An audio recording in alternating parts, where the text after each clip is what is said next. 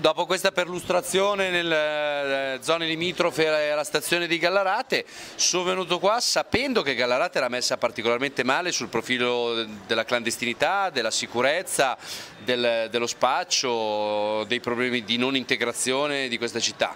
Dopo la perlustrazione ho dovuto ricredermi perché è messa molto peggio di quello che, che pensassi, non ho mai visto un posto con così tanti negozi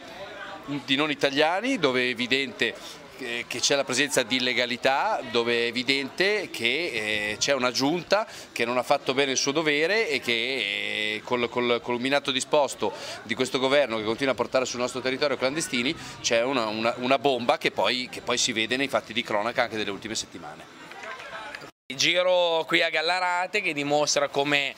alla fine a dare spazio a chi vuole accogliere a tutti i costi, ci troviamo in una situazione come quella che abbiamo constatato oggi, eh, abbiamo addirittura rischiato un'aggressione davanti a un normalissimo esercizio pubblico, ecco questa non è la Gallarate che vogliamo, siamo sicuri che con eh, Andrea Cassani sindaco questa sarà la possibilità, l'occasione per Gallarate di cambiare finalmente il, il, verso, un verso che ci sta portando in una situazione inaccettabile eh, dove una famiglia non, non, può scegliere Gallarate oggi per vivere perché avrebbe paura la sera alle sette e mezza a uscire di casa.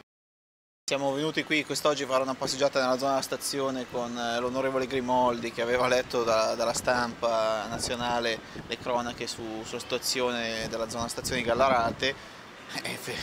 effettivamente anche lui si è accorto del, del degrado, comunque della presenza esclusiva di stranieri nella zona stazione, abbiamo fatto una passeggiata per 20 minuti, non abbiamo incontrato un italiano, c'erano solo stranieri, tra l'altro c'è stato anche qualcuno che ha avuto che ha aggredito verbalmente il consigliere regionale Emanuele Monti fuori da, dalla sala scommesse eh, Gallarate deve tornare a essere una città vivibile, eh, purtroppo gli esercizi commerciali intorno alla stazione sono quasi esclusivamente di stranieri e,